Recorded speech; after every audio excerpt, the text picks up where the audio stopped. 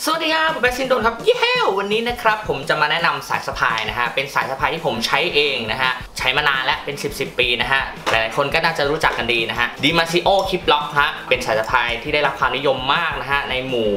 ชาวร็อกแล้วกันนะฮะเพราะว่ามันค่อนข้างที่จะแข็งแรงทนทานแล้วก็เนื้อผ้าค่อนข้างจะเป็นมิตรกับไหล่ชาวร็อกอย่างผมมากเลยนะฮะก็คือผมจะบอกว่ากีตาร์เกือบทุกตัวของผมนะฮะใช้สายสะพายไอตัวนี้นะฮะจุดเด่นของยี่ห้อเนี้ยคือไอตัว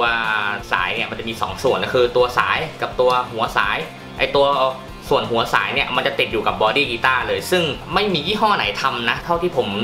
รู้สึกมานะฮะ เพราะว่ามันจะติดกับตัวกีตาร์เลย ซึ่งมันเป็นแบบเอกลักษณ์ของยี่ห้อนี้เลย ก็คือจะติดกันแล้วก็จะติดแบบแพ็คแบบไอพวกกระเป๋านักเรียนนะฮะนะฮะกระเป๋าสะพาย แล้วคราวนี้มันก็จะอยู่ติดกับเราเลยนะฮะ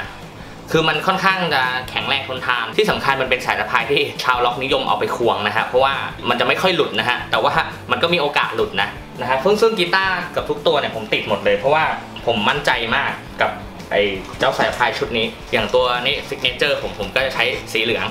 นะฮะก็จะดูเก๋ไก๋คือมันมีหลายหลายสีมากเลยนะฮะอยู่ที่ความชอบนะฮะติดทุกตัวฮะกีตาร์ของผมเพราะว่ามันอุ่นใจที่สุดแล้ว อันนี้ก็จะเป็นสีชมพูนะฮะก็สีสันสวยงามนะฮะติด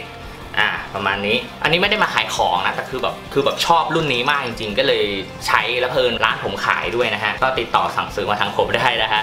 อะนะฮะอันนี้ดูคร่าวๆนะฮะมันจะมีหลายลายนะฮะเอาอันนี้ผมเลือกมาเฉพาะลายที่ได้รับความนิยมนะฮะได้รับความนิยมมากที่สุดจะเป็นสีดำความกว้างมันจะอยู่ที่ 2 นิ้วนะฮะอันนี้คือมาตรฐานเลยสะพากีตาร์ได้อย่างแบบหล่อๆเท่ๆเลย สีดำจะขายดีที่สุดนะฮะคนใช้เยอะที่สุดหัวกะโหลกนะฮะลายหัวกะโหลกก็ดูวัยรุ่นวัยรุ่นหน่อยนะฮะลายทหาร นะฮะลายทหารก็คนใช้เยอะเหมือนกัน แล้วก็เป็นพวกสีนีออนสะท้อนแสงนะฮะมันก็จะโดดเด่นมากเวลาเราสะพายนะฮะมันจะทำให้ดูแบบฟุ้งฟริ้งกระดิ่งแมวมากนะฮะอ่านะฮะเป็นสีสีมีหลายสีมากเลยอันนี้ผมผมมีแค่นี้ แล้วก็สุดท้ายเป็นสะพายเบสนะฮะสามนิ้ว คือผมเคยลอง